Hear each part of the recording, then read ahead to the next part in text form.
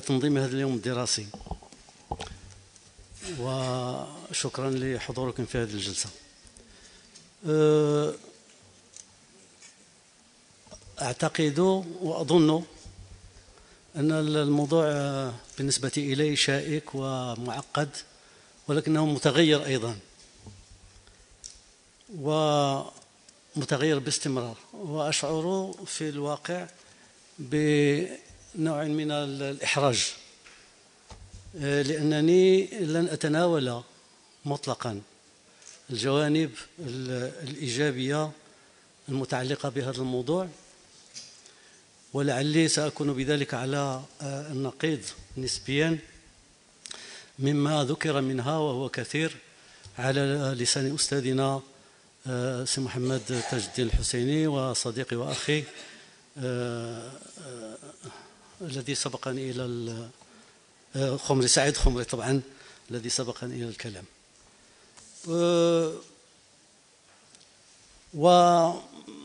ويمكن أن أقول في مستهل كلامي عن الموضوع أن تجربة الدبلوماسية المغربية في التاريخ وفي التجربة الواقعية لعملها وتصوراتها ومقولاتها على الصعيد الدولي هذا بطبيعة الحال يحتاج إلى بحث طويل وعريض وقد قيل فيه الكثير ويبدو أنه في تناقضه وتعدده مما يصعب حصره في عجالة. غير أن المثير فيه وأن الجهة المكلفة بهذه الدبلوماسية لم تنجز فيما يهم التخصص تخصصها ولا تطوراتها وأسلوبها وخطاباتها ما قد يفيد شيئا كثيرا أو قليلا وهو إن وجد لا يؤبه به لأنه لا يتضمن شيئا قد يفيد الدارس فيما قد يكون لها من توجه على الصعيد الثنائي والإقليمي أو الدولي إلا في حالات نادرة. لعلها كانت منذ بداية استقلال المغرب من مبادرات من تولوا عرشه أو كانت لهم مسؤوليات سياسية مباشرة في مواقع القرار. وهو ما جعل باحثا وقد قرأت له ما سأقوله عنه أو ما, ما, ما كتبه. قرأت ذلك باستغراب. يقول إن وهو باحث مختص في مجال الدبلوماسية إن المبادئ الأساسية للدبلوماسية المغربية استمدت روحها من ثوابت مشتركة أرستها أرست أسسها الدول المتعاقبة على حكم المغرب وكانت مستمدة من القيم العليا للدين الإسلامي الحنيف. ما كنعرفش شنو العلاقة بين ومن طبيعة الشخصية المغربية. ولا أعرف ما مدلول ومعنى الشخصية المغربية. وبعض هذه المبادئ يقول أعلنها محمد الخامس بطبيعة الحال لتحكم دبلوماسية ما بعد الاستقلال وتعززت بعد ذلك في عهد الملك الراحل الحسن الثاني إلى يوم الناس هذا مع آه، صاحب الجلالة آه، الملك محمد السادس. بدون تعليق. سأكتفي بالإشارة فيما يعنيني إلى حكم عام مفاده أن الدبلوماسية المغربية فيما يبدو لي وأنا أمزج في هذا الحكم بين التجربة الشخصية والاطلاع الفكري والسياسي إلى آخره. أن الدبلوماسية المغربية خلينا نقول رسمية بما أنه ذكرت الدبلوماسية الموازية هذه الدبلوماسية لا تقوم في رأيي الشخصي على أي أساس نظريين تحليليين يرسم خططها وتصوراتها ومصالحها الوطنية وأهدافها البعيدة والقريبة. وإنما هي تصور أو موقف طابعه الظرفية والاستثناء يتبلور في كل مرحلة وفي بعض الأحيان طوال طوال مراحل حسب الإدراك البراغماتي لمتطلبات العمل الدبلوماسي في مناطق تواجد التمثيلي وأساسا في علاقة بالمحاور السياسية ذات النزوع الهيمني والتحالفات الظرفية التي تمليها بعض الاستراتيجيات المتصارعة على الصعيد العالمي. وقد كانت كذلك أثناء الحرب الباردة كما نعلم ثم تطورت بعد ذلك وخصوصا ابتداء من السبعينيات في علاقة بالقضية الصحراوية وانتهت إلى أن أصبحت إلى حد ما ذات طابع هجومي يرمي إلى اقتحام بعض مناطق النفوذ التي يحتلها خصوم قضية من القضايا القضايا التي يدافع عنها المغرب. ولذلك تجد الخط العام الذي التزمت به هذه الدبلوماسية هي الوقوف إلى جانب القوى ذات النفوذ العالمي الغربي ومصالح واستراتيجيات تلك الدول في الصراع الدولي حيثما كان في الصراع الدولي هذا ما ينعكس على المغربي بطبيعة الحال من آثار جانبية أو فعلية. وأنا شخصيا أفهم هذا الخط من خلال منطلقاته. إن كان ما سوف أشير إليه يمكن اعتباره منطلقات جدية لخط ما. ومن أولى المنطلقات التي ترسخت عبر السنوات فأصبحت بالنسبة للدبلوماسية المغربية مسلمات بين قوسين بديهية في العمل والتمثيل. نجد في مقدمة التشخيص آه، بصفة عامة ست ظواهر أو ستة ظواهر مترابطة أعرضها بدون ترتيب تقوم أو تتمثل أولا في نوع من الصمت السياسي أو ما يمكن تسميته بالصمت السياسي والهيمنة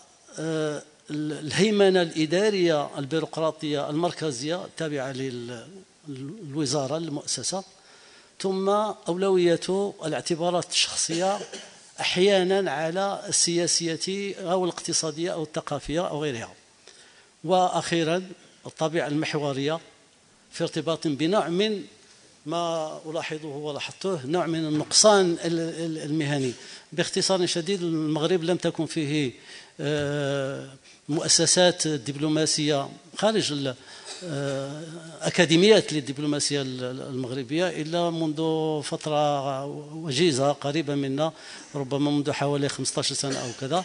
ومعظم الدبلوماسيين المغاربة تخرجوا من المدرسة الإدارية أو من الأحزاب السياسية التي كانت تقترحهم آه، أو تنتدبهم للعمل الدبلوماسي في آه، باقتراح من جلالة الملك أو من الوزارة نفسها. فالمهنية لم تكن دائما آه، عنصر أساسي في الأداء الدبلوماسي المغربي في أكثر من منطقة. ما عرفش واش تسمحوا لي نقول لكم أكبر دليل على ذلك أنه السفير المغربي في باريس الاستاذ بالعباس الطعرجي بقي في منصبه آه، مدة طويلة من الزمان وأداؤه الدبلوماسي غير غير معروف تماما وغير مذكور. الأستاذ المرحوم الصمار بقي في المملكة العربية السعودية ازيد من 13 سنة حتى توفي في المملكة العربية السعودية ولم يكن لعمله ولأدواره وطريقة اشتغاله أي أثر في في في لأنه العلاقة كانت ذات طبيعة أخرى ومستويات أخرى تتم أفقيا بين المؤسسات الملكية أو غيرها. وهناك أمثلة كثيرة على هذا الموضوع. أه سأحاول انطلاقا من هذا كله رغم الاختزال الذي صغته فيه أن أرى طبيعة تلك الدبلوماسية في علاقة بالقضية الصحراوية في دول أمريكا اللاتينية منطلقا في ذلك كله من تجربة شخصية ترتبط بالموضوع قاربت بالموضوع في إطار وزارة الخارجية كذلك قاربت العشرين سنة. وسوف أوجز ذلك في ملاحظتين وخلاصة. الملاحظة الأولى فيها تأكيد مبدئي على أن التمثيل الدبلوماسي بين المغرب وبعض دول أمريكا اللاتينية لا يعود في أغلبه إلا إلى الفترة الموالية للاستقلال حصرا وبصورة خاصة إلى السنوات الست الأولى إلا فيما نظر كما سنرى. تلك التي انتهت سنوات الست الأولى تلك التي انتهت بإعلان حالة الاستثناء عمليا في البلاد. وكان من الواضح أن الاعتراف المتبادل على ضوء السيادة الوطنية وأشدد على ضوء السيادة الوطنية هو القاعدة أي بدون أن يكون ذلك مصحوبا بتبادل السفراء. كان الاعتراف ولكن لم يكن مقرونا دائما بتبادل السفراء مع دول أمريكا اللاتينية. وسأعطي بعض الأمثلة. ويمكن أن نمثل لذلك بأن أول سفير مغربي في دولة تشيلي لم يستقر بذلك البلد إلا في آخر آه، التسعينيات تقريبا 1997 وفي المكسيك قبل ذلك بست سنوات أي في 1991 ولم يتمكن السفير المغربي من ممارسة مهامه في غواتيمالا على سبيل المثال أيضا إلا منذ أربع سنوات أو خمس سنوات. وربما تعتبر العلاقة الثنائية الأهم والأقدم من الناحية التاريخية هي التي قامت بين المغرب والأرجنتين منذ 1960 وجدير بالإشارة أن الدبلوماسية المغربية لا تغطي جميع بلدان أمريكا اللاتينية إلا بالوكالة عن طريق السفارات الموجودة في البلدان ذات العلاقة التمثيلية المتبادلة. ومن تلك التمثيليات من يغطي أزيد من ثلاث من ثلاثة دول فلا يكون الحضور المغربي فيها إلا استثنائيا. وتقديري الشخصي أن هناك دولا لا تشملها أي تغطية في الوقت الحالي. كالأوروغواي وفنزويلا والإكوادور والباراغواي وغيرها. ويعود ذلك في الأغلب لموقف تلك الدول من القضية الصحراوية مع وجود دولة على الأقل لها علاقة دبلوماسية مهمة دبلوماسية واقتصادية أيضا مهمة مع المغرب رغم أنها تعترف بما يسمى بالجمهورية الصحراوية وأشير بذلك إلى دولة المكسيك منذ 1983 والشاهد عندي في هذا أن التمثيل الدبلوماسي المغربي حيثما وجد هو أمر حديث أو متأخر. وليس من الضروري أن نتساءل بعد ذلك عن الأوضاع الملموسة القائمة في تلك التمثيليات من ناحية السياسية والاجتماعية والمالية وطبيعة العاملين فيها والميزانية العامة المخصصة لتدبير وتسيير العمل فيها والتي تحكم أوضاعها وأعمالها والأهداف التي قد تكون منوطة بها. وما ذلك إلا لأن ذكر هذا الجانب من نشاط الدبلوماسي العام يثير الكثير من التساؤلات المرتبطة بالجدوى وبكيفية صرف المال العمومي فضلا عن السلوك الدبلوماسي نفسه للقائمين على ذلك كله. وهو بطبيعة الحال ما يؤثر تأثيرا واضحا في العمل الدبلوماسي وأساسا في المردودية المتوخاة منه. ويعني هذا ضمن ما يمكن أن يعنيه أن هناك فراغا كبيرا لا يملأه في معظم الأحيان أي حضور. ومتى ما وجد هذا الحضور فإنه محكوم على الدوام بالكثير من الظواهر التي تحد من عمله. من ذلك على سبيل المثال الجمود الذي في معناه أن الإدارة المركزية هي التي ترسم وتوجه وتأمر في كل ما يتصل بالتحرك الدبلوماسي الذي من المفروض أن يتم بالطرق المناسبة على ضوء التطورات الخاصة ببلد إقامة التمثيل الدبلوماسي لا بالأوامر الإدارية الجاهلة في معظم الأحيان. ويصبح ذلك قيدا من القيود أحيانا التي يمكن نعتها بالرهيبة التي تحد من طبيعة العمل الدبلوماسي. علما بأن الوجود الدبلوماسي في كثير من دول أمريكا اللاتينية ليس في الحقيقة إلا من أجل قضية الصحراء دون سواها. الملاحظة الثانية المتعلقة من ناحية بموقف بعض دول أمريكا اللاتينية في علاقة بالصحراء وكذا بالأداء الدبلوماسي المغربي من ناحية أخرى ويجب أن نؤكد في بداية الحديث عن هذا الموضوع أن المسافة الجغرافية قد لعبت دورا كبيرا فيما يمكن الاصطلاح عليه بالتجاهل التام الذي ساد بين المغرب وكثير من دول أمريكا اللاتينية. يضاف إلى ذلك في إطار نفس المسافة الجغرافية أن التواصل التاريخي بين الجانبين حديث حديث تماما لا يتعدى آه، ستين سنة. أضيف إلى ذلك ما يكتنف هذا التواصل في حال وجوده من غموض وأفكار قبلية أو مسبقة وضعف اهتمام لا يبالي بالمعطيات الحقيقية المتعلقة بمختلف مجالات الحياة الخاصة بالبلدان والشعوب وبالبنيات والتوجهات وطبيعة الأنظمة والتحولات السياسية والاجتماعية التي تمت في مختلف الحقب التي مرت بها البلدان قديما وحديثا. ربما كانت النتيجة طبيعية لكل ذلك أن بقي المغرب وقد لمسنا ذلك كثيرا قارة مجهولة وفي أحسن الأحوال يوصف بأنه بلد عربي أو إسلامي متخلف غالبا ما يقرن في وجوده بالقرون الوسطى. وهو شيء غريب سمعناه في المكسيك وفي الشيلي وفي الباراغواي في الكثير من دول من النخب الحاكمة نفسها. وبطبيعة الحال آه، على عكس ذلك آه، كل من زار المغرب وقام بالاطلاع على على تاريخهم من من من بعثات تلك الدول بطبيعة الحال اكتشفت شيئا مغايرا تماما أثار اهتمامها وقربها إلى إلى إلى إلى الوجود المغربي التاريخي أو الحاضر. ومن ومن الجانب الآخر هذا من جانب الدول الأمريكا اللاتينية ومن جانب الآخر لا أرى أن الدبلوماسية المغربية تتوفر أو نادرا بصورة محكمة على المعطيات الحقيقية الخاصة ببلدان التمثيل الدبلوماسي كلا أو جزءا. رغم أن الدور الدبلوماسي في هذا المجال يفرض أن يكون التمثيل السياسي تتويجا للعلاقة الثنائية الحرة القائمة على المعرفة المتبادلة.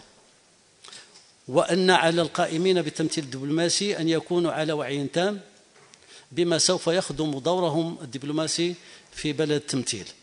والواقع أن موقف كثير من دول أمريكا اللاتينية بناء على هذا مطبوع بالجهل التام لما تعنيه القضية الصحراوية للمغرب من ناحية ولما تعنيه في إطار الصراع الدائري حولها في المحافل الدولية من ناحية ثانية ولما يجب أن يكون عليه الموقف المعلن من الأطروحة المغربية من ناحية ثالثة.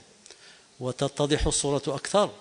إذا ما أخذنا بعين الاعتبار الدور الذي لعبته الجزائر في بدافع المنافسة الإقليمية منذ أن أدركت أن العمل الدبلوماسي المساند لحركة البوليزاريو له أهمية قصوى ويتطلب إمكانيات مادية ومعنوية كبرى في الصراع ضد المغرب بجميع المبررات التي أوجدتها أوجبتها سياسة تلك الدولة في اعتناق مبدأ تقرير المصير وفي ربطه بالمساندة والدعم والتمويل غير المشروط لمفهوم الجمهورية الصحراوية في الدعاية والإعلام وفي اللوبينغ كذلك.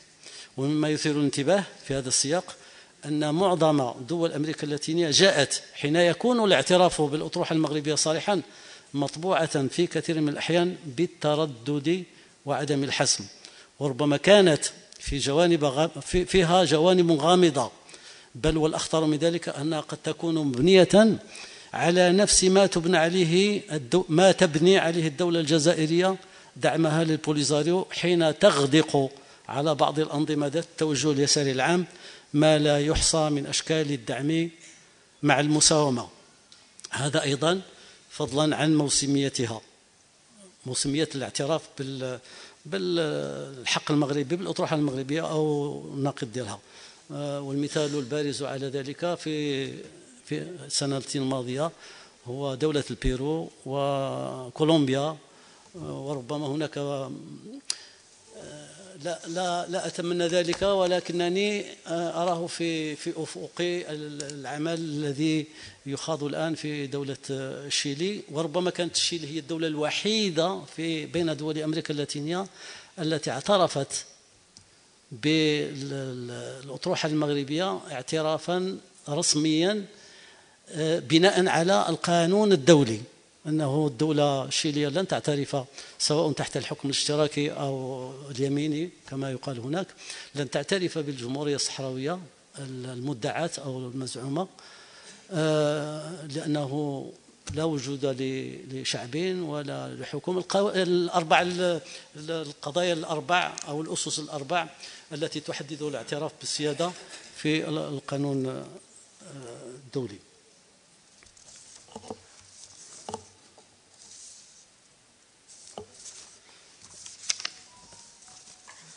وبناء عليه يمكن الاستنتاج بأن العمل الدبلوماسي المغربي لم يوفق لحد الآن بناء على ما ذكرته من الإقناع بصحة الأطروحة المغربية بالأسلوب الملائم الذي قد ينطلق من الإقناع السياسي بالتجربة التاريخية لقضية الصحراء في ارتباطها بالمغرب وامتدادها في جغرافيته من جميع النواحي والجوانب بالإضافة بطبيعة الحال إلى ما يرتبط بذلك من قضايا وموضوعات وسياسات واستراتيجيات.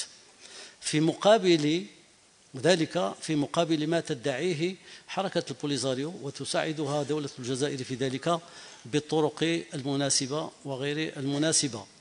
وذلك من ارتباط القضية الصحراوية بقضية تصفية الاستعمار أو بالاحتلال كما يقال باحتلال المغرب أو بالتوسع بالتوسع المغربي.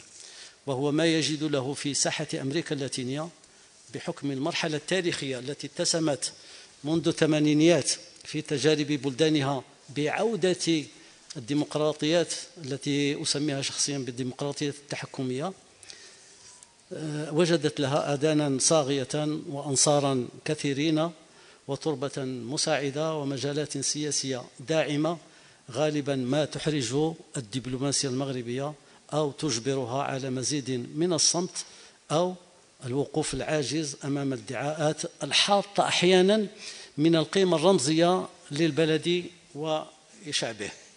يضاف إلى ذلك أن الدبلوماسية المغربية خصوصا في أمريكا اللاتينية ما زالت مقيدة بشعارات التحرر المدعى وأن يضمن في نفس الوقت لأطروحته المصداقية المطلوبة بناء على تصور ديمقراطي يفيد يفند مختلف التصورات البالية التي تتعبأ بها أطروحة الخصوم والداعمين لها وشكرا على انتباهكم.